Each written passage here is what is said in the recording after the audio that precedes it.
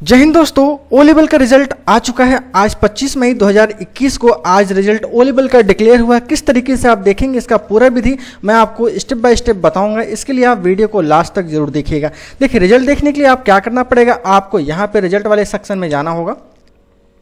इस पर क्लिक करते ही आप यहाँ पे देखिए पूरा ओ लेवल ए लेवल या जिस किसी का आपका रिज़ल्ट है यहाँ पे आप देख सकते हैं ओ लेवल पे क्लिक करते ही आप यहाँ पे फिल करेंगे कैंडिडेट यहाँ पे रोल नंबर वाइज देख सकते हैं नेम वाइज भी देख सकते हैं और रजिस्ट्रेशन नंबर के हिसाब से भी आप देख सकते हैं तो देखिए मैं यहाँ पे क्या रजिस्ट्रेशन नंबर के हिसाब से मैं देखना चाहता हूँ तो रजिस्ट्रेशन नंबर यहाँ पे मैंने देखिए सिलेक्शन कर लिया मैंने यहाँ से ईयर ले लिया ईयर लेने के बाद यहाँ पे देखिए जनवरी 2021 का यहाँ पे मैंने सिलेक्शन कर लिया इसके बाद यहाँ पे मैं डालूँगा आज का यहाँ पे रजिस्ट्रेशन नंबर रजिस्ट्रेशन नंबर है रोल नंबर यहाँ पे फिल करने के बाद यहाँ पे कैप्चा कोड यहाँ पे फिल करेंगे। फिल करते ही आप यहाँ पे सबमिट बटन पे क्लिक कर देंगे। ठीक है? जैसे सबमिट बटन पे यहाँ पे क्लिक करेंगे, आप देखेंगे आपका रिज़ल्ट यहाँ पे आ चुका है।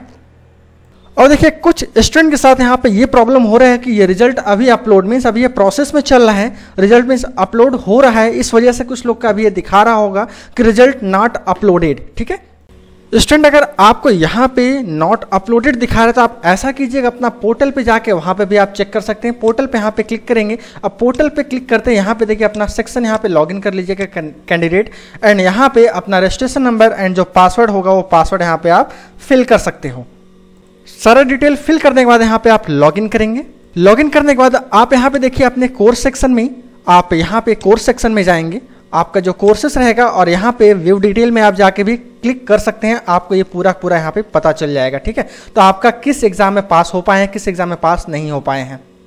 यहाँ पे देखिए, आपका जो रिज़ल्ट है वो अपलोड हो रहा है, इस वजह से यहाँ पे देखिए अनवेलेबल यहाँ पे दिखा रहा है नॉट अवेलेबल दिखा रहा है, क्योंकि ये सारा चीज़ आपका हो चुका है, ठीक है? इस वजह से आप डिले ना करें और अपना रिज़ल्ट चेक करते रहें। और चेक करके मुझे ये बताएँ कि किसका रिज़ल्ट अपलोड हो पाया है, किसका नहीं। कमेंट बॉक्स में बताना नहीं भूलिएगा।